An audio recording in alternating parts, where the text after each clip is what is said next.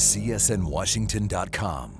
Joined again today, every Wednesday he stops by, Rich Tandler from CSNWashington.com.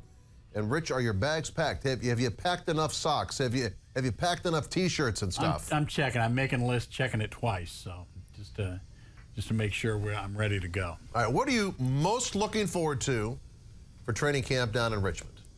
You know, just to see the pads on. You know, it's just it's such a tease. You come to see OTAs and minicamp, and it's just it's just not at all like you know, like like the it's enough like the real thing to make you kind of think it is, make it give an illusion. But once you get there with the pads on, they start hitting the sleds, they start hitting each other. That's when it gets to be fun. And what are you least looking forward to?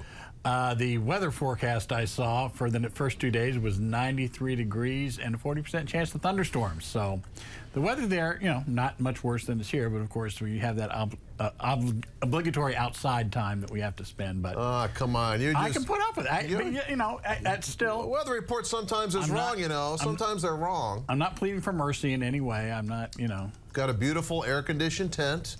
Crop Metcalf takes care of you. I know that oh, yeah. out of training camp. All right, earlier we heard from Jamison Crowder, and factoring him into the special teams this year, how much better do they need to get, and how much better will they be?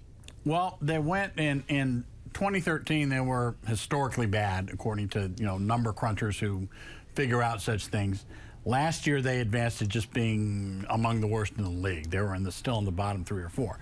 But progress is progress. So they can make a similar leap, you know, get into the middle of the pack. But they, you know, they need, you know, the return game, the, the offense. Robert Griffin III, you know, what, you know, long list of things that that the offense and RG3 need to be successful.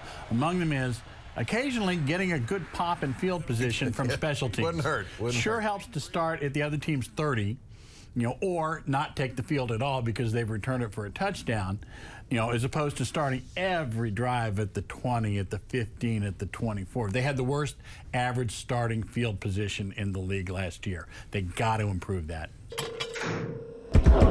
CSNWashington.com.